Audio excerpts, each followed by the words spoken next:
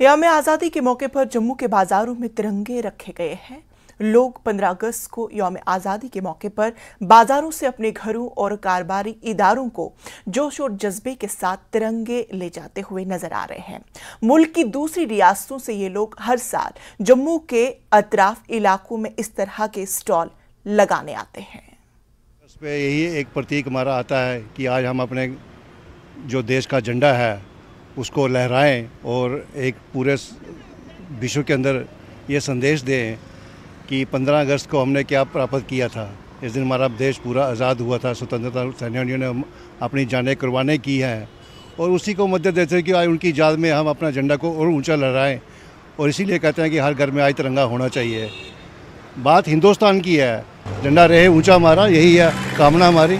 हमारा देश समृद्ध रहे। आगे बढ़े। हिंदुस्तान जिस तरीके से जब आज़ाद हुआ था उन्नीस सौ सैंतालीस में उससे लेकर आज तक जो है हर इंसान के अंदर एक ही जज्बा है कि हमारा जो है ये झंडा जो है ये ऊँचा रहे और बुलंद रहे।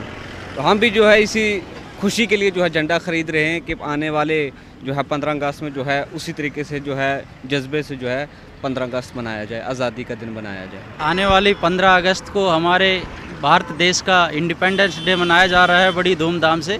इसके उपलक्ष्य में हम अपने घरों में अपने बच्चों के लिए ये रबड़ बैंड्स और तिरंगा लेके जा रहे हैं। तो बड़ी हँसी खुशी से 15 अगस्त मनाएँगे हम। 15 अगस्त, आज़ादी का पर्व।